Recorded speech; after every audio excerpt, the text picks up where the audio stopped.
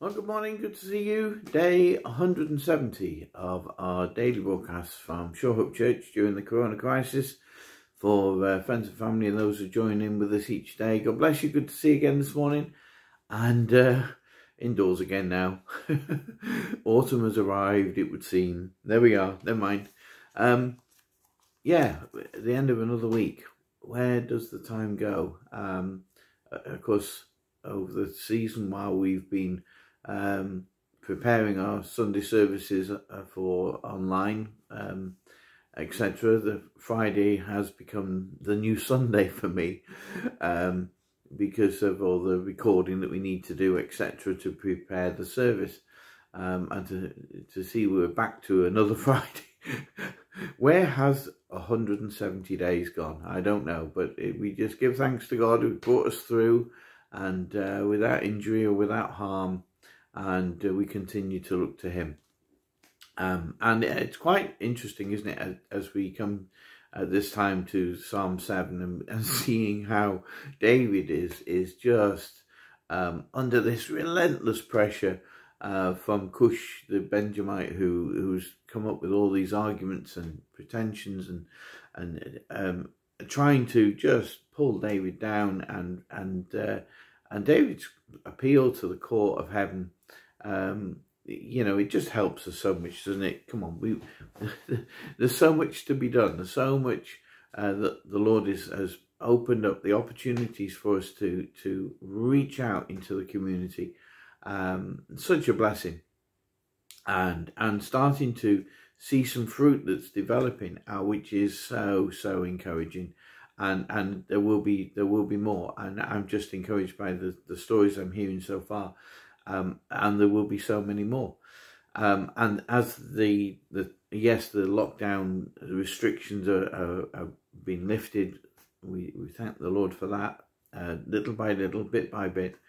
Um, but we also realise that the significant uh, impact that this whole season has had on the economy and on people's lives, on mental health, um, and uh, it, it, it, it will be um, a season that will continue.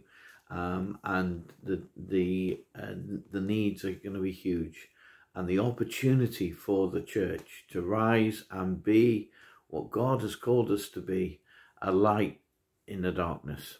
Wow, thick darkness. Uh, Isaiah called it thick darkness over the people. Wow, so thick you can virtually feel it. And and boy can you you know like it was um, in in Egypt you know?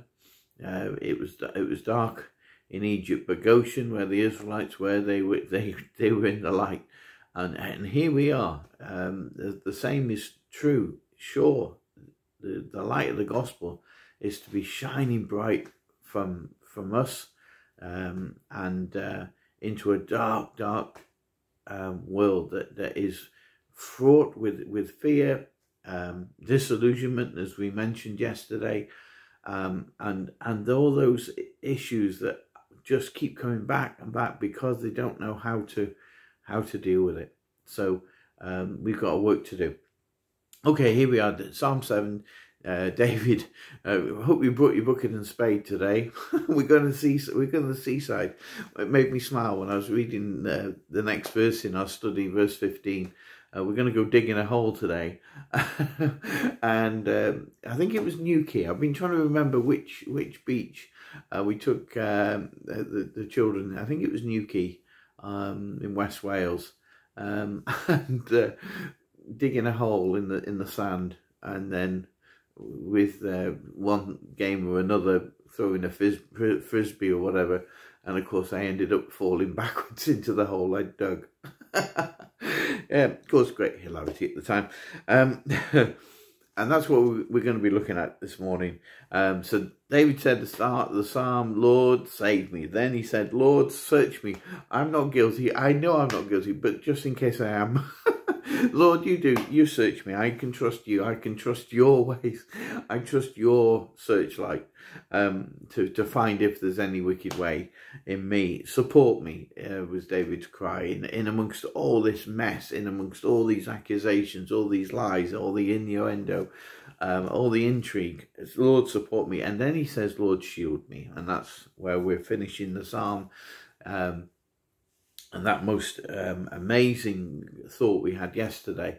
Um, the Lord who is for us and not against us, who is fighting our battles. This is how I fight my battles, is one of the modern worship songs which we've sung over recent weeks. Uh, this is how I fight my battles. Uh, the Lord is for you, not against you. He's He's fighting your battles for for us.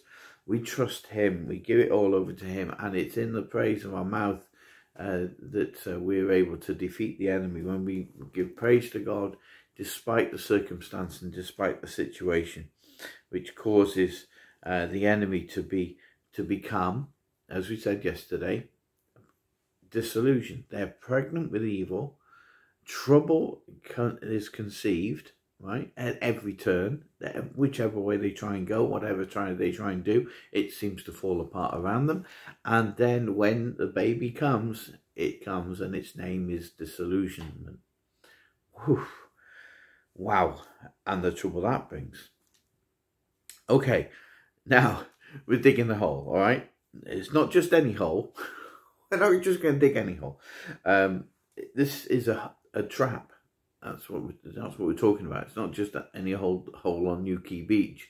This is a trap, uh, a plan that's been put together. okay, come on, we'll say the word. A plan that's been hatched. oh dear. Anyway, uh, to cause someone else to fall. Mm. That's what we're talking about. Um, and here it is. Maybe when you devise such a plan, um, when Cush was putting his scheme together, he would have worked out something of David's weakness. He, he would know uh, something of maybe a weakness in his character or a weakness in, in his um, in his habits or a weakness in his, his state of mind. What this this digging of a hole is um, is very very strategic and it is pre-planned um, um, uh, premeditated, as they say, um, for for those who commit murder, isn't it? Premeditated murder.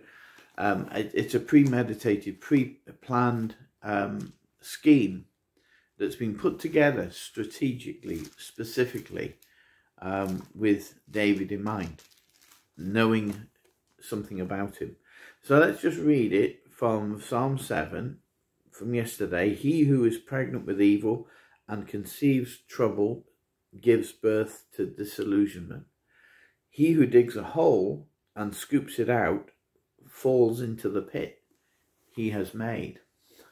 okay, so that's where that's where we are today. So it's, this is a, a pit, a trap that's been dug specifically, strategically, with David's weakness in mind. Well, beware. Because the trap you dig, the hole that you have dug out, you'll fall into it yourself. it's interesting because I'll tell you the, the verse that springs to my mind. It might spring to your mind. Um, Isaiah 54, verse 17. Um, we quote it, quote it quite possibly fairly regularly. Um, no weapon formed against me shall prosper no tongue that is raised shall stand. Yeah? Okay, Isaiah 54, 17. Now, interestingly, that word that says, um, no weapon that is formed against me, actually, a better translation of the word is forged. And the, the implication of that is actually that the weapon has been specifically made for for attacking a specific target. Mm. It's been in, it's been crafted individually, forged with a particular issue in hand. Hmm. You see, the enemy knows our weaknesses. He knows he knows how we're you know how how we're likely to fall, and that's where we need the Lord. Yes, to be our shield, to be our guard, to be our protection, and we shield ourselves not in our own strength, but in Him, the Word of God we know what it is to put on the armour of God, the helmet of salvation. We know what it is to keep our mind focused on what is right, what is true, what is holy, what is good. Uh, all these things we've learned, and, and I'm sure you you over the last 170 days have learned how to apply those things and I encourage you to continue to do that. Please, we, we must keep continuing to do that because there is an enemy.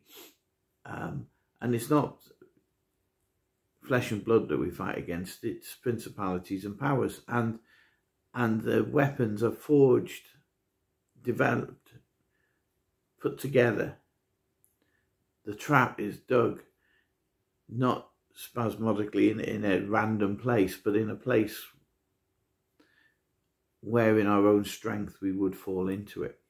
But God's way of doing things is so different because those who have determined, who will not relent, who do not repent, who do not turn away from their, their way of trying to pull, um, pull you down, and their determined scheming and planning, their hatching of a plan that will put them in, in a place of digging a hole for you to fall in and for me to fall into.